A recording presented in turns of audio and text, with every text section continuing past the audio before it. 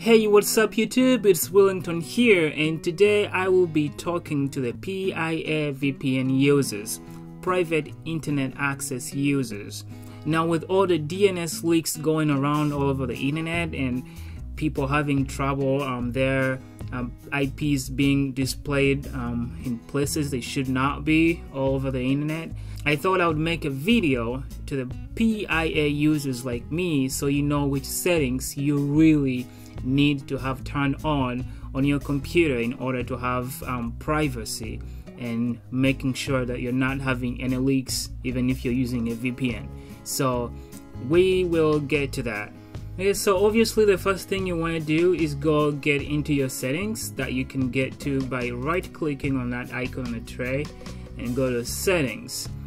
Um, this is that but what you need is going into the advanced settings. If this is how you are set up like this you are not safe. I mean you are safe compared to most people who just go on the internet without any VPN or proxy but you are still not safe. You can still show your IP address in some cases. Alright so we are about to change that making sure to make sure your security is as high as it can be. So just leave the this as is works for me. And the port forwarding just leave that you know unchecked. It's safer to have it unchecked than it is when you check it. Um, the next thing down here is the VPN kill switch. Now what does this do? You can only get to the internet if you have the VPN turned on. Without the VPN turned on, there's no internet on your computer. That's what that does. There might be times that you might forget, so in case you forget and go on, you know, online and using um, the internet before activating it, in that case, you will be open to the world. So this kill switch just enables, just makes sure that you can only go online if you remember to turn on your VPN. So I've always left that one on. Now, when you turn it on, you're going to get a warning. They're just telling you that this might cause some connection issues and will not work if you use more than one network interface on your computer simultaneously. So let's say it can only disable one connection. So if you have a VLAN connection and a wireless connection, it will disable one and one will still be able to communicate. So you want to make sure that you're only using one connection at a time. So yeah, just so you know. So the next one up is a DNS leak protection. Now this is one the most important of all. Now as you can tell by what it's called, the DNS leak protection feature activates VPN DNS leak protection.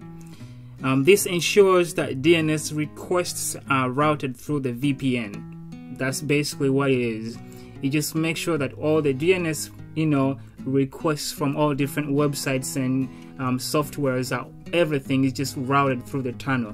Nothing goes outside of the tunnel. So you do want to have that checked.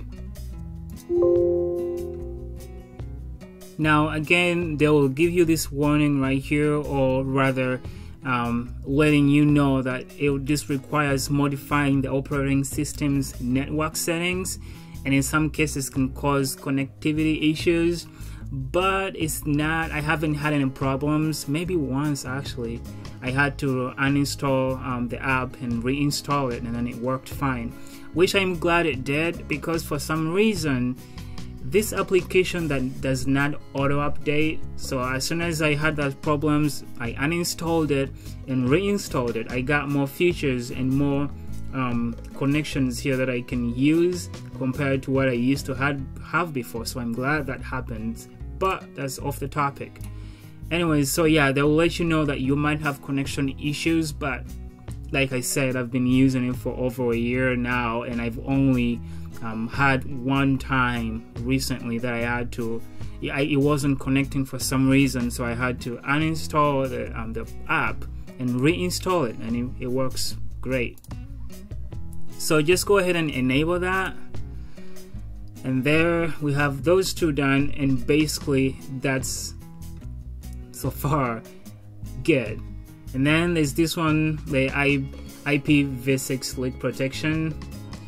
I mean it's IPv6 is not common right now so most likely you don't need it but you might so I usually will leave that one on too just to ensure maximum protection. You know I know people are using it um, the V um, the IPv6 is you know getting bigger and bigger but it's not something that's really um, big right now yet because everyone is IPv4 at the moment um, but yeah it's something that I mean it doesn't hurt anything. So you just leave it leave that one connected too just to ensure you know maximum protection. And that's basically it. That's basically it. If you have all these settings marked the way they are right now you are safe. I can't say 100% because it's the internet you know things change and people are always finding ways but as of right now I have not had any problems with my connection with having this and I haven't had any leak leaks at all. So what you want to do is go ahead and save. And I'll actually go online here and show um, do DNS leak test so let's use